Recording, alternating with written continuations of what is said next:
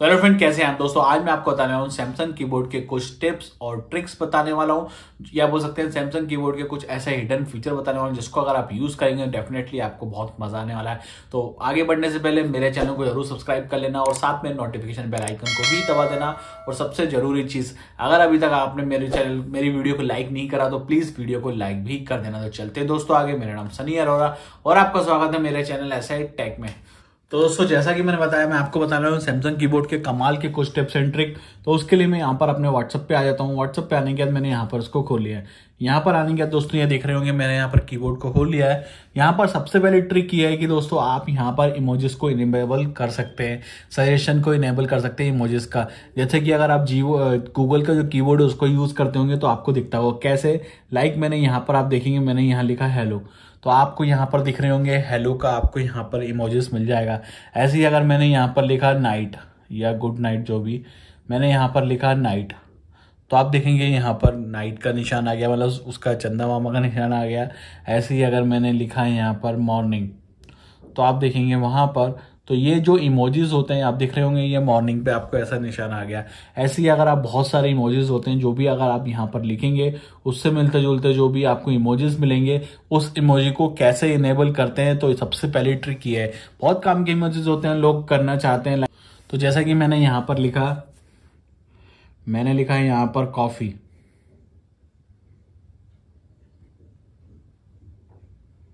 मैंने कॉफ़ी लिखा तो कॉफ़ी का कप मना गया। तो ऐसे ही अगर आप यहाँ पर कोई भी इमोजेस को या कुछ भी अगर आप किसी को कुछ भेजना चाहते हैं तो डायरेक्ट सर्च में आपको वो दिख जाए तो उसको कैसे इनेबल करें? तो उसको इनेबल करने के लिए आपको यहाँ रिडोर्ट्स पर जाना है। यहाँ जाना है आपको इसकी सेटिंग पे। सेटिंग पे जाना है, इसके सेटिंग पे जाना है। सेटिंग पे जाने के बाद आपको यहाँ पर ऑप्शन मिलेगा सजेस्ट इमोजेस का। आपको इसको इनेबल कर लेना है। बाय डिफ़ॉल्ट ये ऑफ़ रहता है तो आपको इसको इनेबल करना है। उसके बाद होगा क्या? जैसा कि आपको दिख रहा होगा, मैंने अभी अभी वो यूज़ करके बताया, वैसे आप इसको यूज़ कर सकते हैं।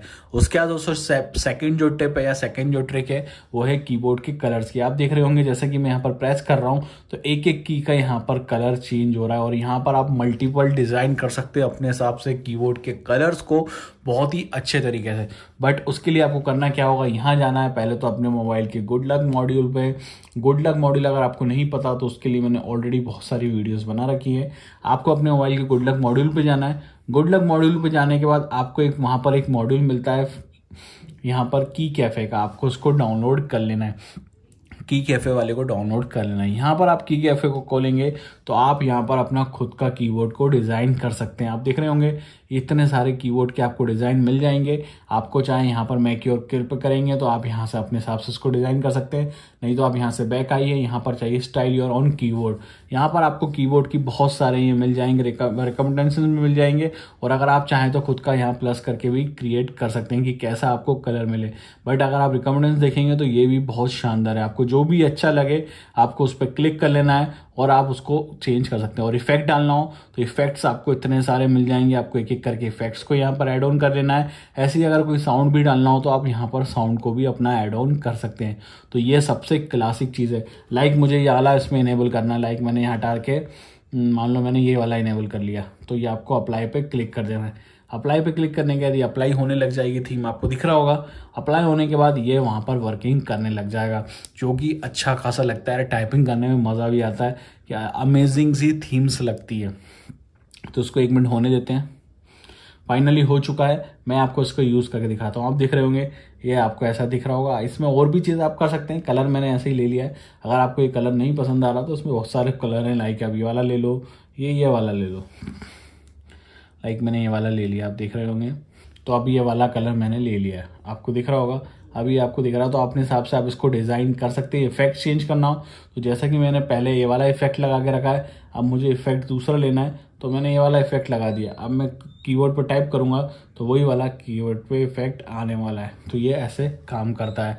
तो ये सेकंड ट्रिप ये थी। उसके बाद दोस्तों, जो तीसरी ट्रिक बताने वाला हूँ या तीसरा जो भी बताने वाला हूँ टिप वो है यहाँ पर आपको जो ऊपर ये दिखता है ना, ये लाइन ऊपर दिख रही होगी तो इसको आप कस्टमाइज कर सकते हैं। कैसे? मान लो आपको जो चीज़ ऊपर चाहिए या नीचे चाहिए। मान लो मुझे ट्रांसलेटर यहाँ पर ऊपर चाहिए, मुझे सर्च वाला ऑप्शन नहीं चाहिए या फिर ये वाला क्लिप बोर्ड वाला नहीं चाहिए मोजिज वाला नहीं चाहिए। तो जोन सा आपको नहीं चाहिए, आपको उस पर क्लिक करना है और यहाँ पर आप छोड़ देंगे तो वो एड ऑन हो जाएगा। आप देख रहे होंगे, ऐसे ही अगर आपको और भी कुछ यहाँ पर एड ऑन करना है तो सिंपली आप यहाँ पर उस पर क्लिक करके यूँ छोड़ देंगे तो वो ऑटोमेटिक एड ऑन हो जाएगा और दूसरा ऑटोमेटिक नीचे आ जाएगा। तो ये ऐसे काम करता है, जिसको आप इजीली डिज़ाइन कर लेंगे। बाद में अगर आपको जो भी चीज़ की रिक्वायरमेंट रखी, ताकि आप इजीली उसका फट से यूज़ कर लाइक मुझे यहाँ पर ट्रांसलेटर चाहिए, मैंने फट से क्लिक करा ट्रांसलेटर आ गया। ऐसे ही मुझे यहाँ पर क्लिप बोर्ड चाहिए तो क्लिप बोर्ड आ गया। तो ऐसे ही आप यहाँ पर उसको डिज़ाइन कर सकते हैं। दोस्तों, यही मैंने आपको तीन टिप्स बताई सैमसंग कीबोर्ड से, जो कि मुझे बहुत शानदार लगती हैं। छोटी छोटी टिप्स ही कोई ऐसी कोई खास टिप नहीं थी बट फिर भी बहुत शानदार चीज़ होती है। दोस्तों, मुझे उम्मीद है कि आपको ये मेरी वीडियो पसंद आई होगी। अगर आपको मेरी वीडियो पसंद है तो प्लीज़ लाइक ज़रूर करें। और अगर आप मुझे कुछ सजेशन देना चाहते हैं और कुछ टिप्स बताना चाहते हैं तो आप मुझे कमेंट ज़रूर करें। मैं डेफिनेटली उस टॉपिक पे वीडियो बनाऊँगा और आपका नाम भी उस वीडियो में ज़रूर लूँगा। और अभी तक अगर आपने अभी तक मेरे चैनल को सब्सक्राइब नहीं किया है तो प्लीज़ यार, अब तो चैनल को सब्सक्राइब कर लो और हो सके तो नोटिफिकेशन बेल आइकन को भी दबा दो। और एक चीज़ और कर लेना यार भाई यहाँ तक कर ही लिया है। मुझे इंस्टाग्राम और फेसबुक फॉलो और कर लेना जिसका लिंक आपको नीचे डिस्क्रिप्शन में मिल जाएगा। तो थैंक यू दोस्तों।